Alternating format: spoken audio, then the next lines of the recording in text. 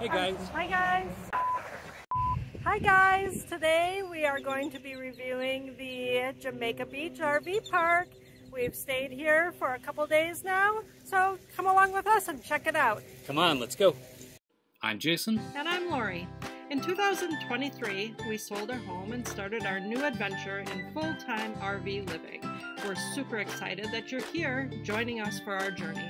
And while on our journey, we're going to share with you places we've been, adventures we've had, and tips and tricks we've learned along the way. So come along with us. We are Living, between between, mile markers.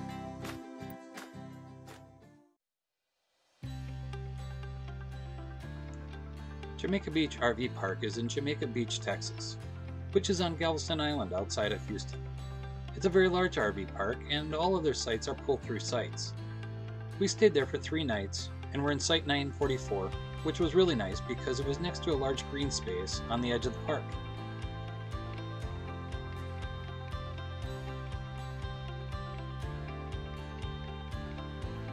The RV park has three pools that are situated throughout the property. Pool number one is located next to the office and is the smallest pool in the park, but this also means that it's the quietest pool as well.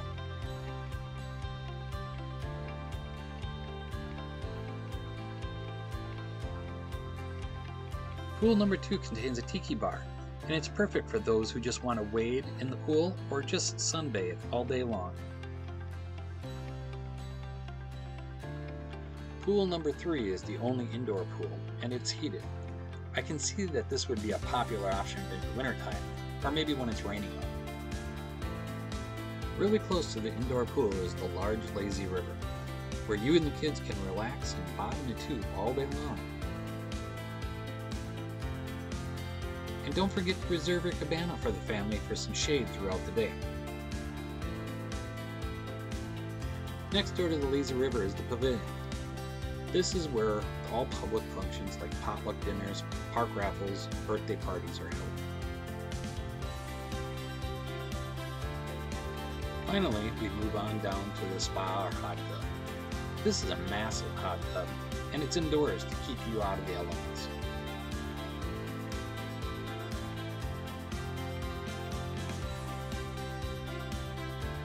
Also, we didn't want to forget to tell you that there are three laundry facilities on site, all with the same footprint for you to use while you're there.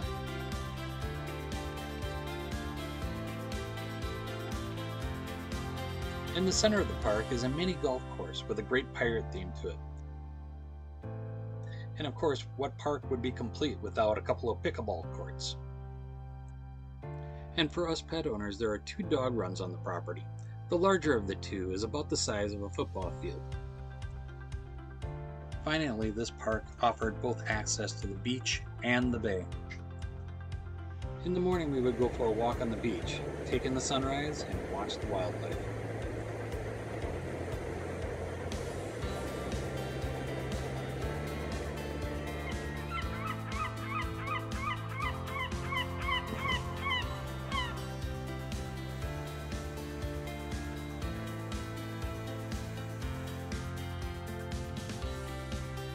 Then in the evening, we would go out the bayside, down this winding path, to a bench swing where we would enjoy some beautiful sunsets.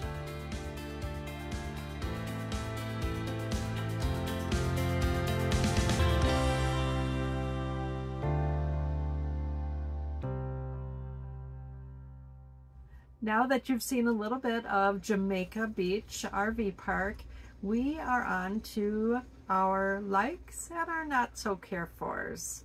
So my first one will be the convenience of the location. This is a like. Actually, I loved it because it was a thousand steps to the beach and a thousand steps to the bay. So we could watch the sunrise in the morning and the sunset at night. And the lake that I have is really the size of the large dog run. I swear to God, it was probably about the size of a football field. So it was huge.